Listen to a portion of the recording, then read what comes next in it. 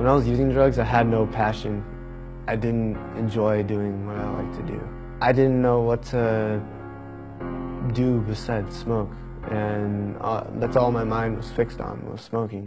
Basically, I just didn't go to class, messed around in school, and just hanged with the wrong crowd, and it just leads to failure. I'm insecure about looking different. You want to look like everyone else, and you want to blend into the crowd, and, but that's kind of impossible for me.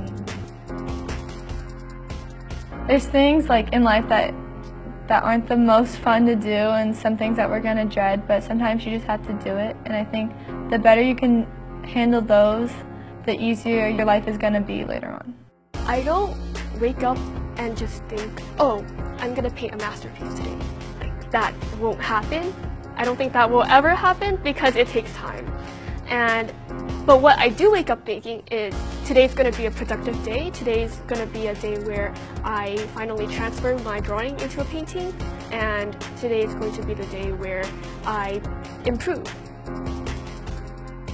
I realize now that it's my life and I'm not going back to what I used to be because I realize that now I have a future and I have something to look forward to. It's all up to you at the end of the day because it's your life. I feel like like I was destined to stand out from the crowd from the beginning.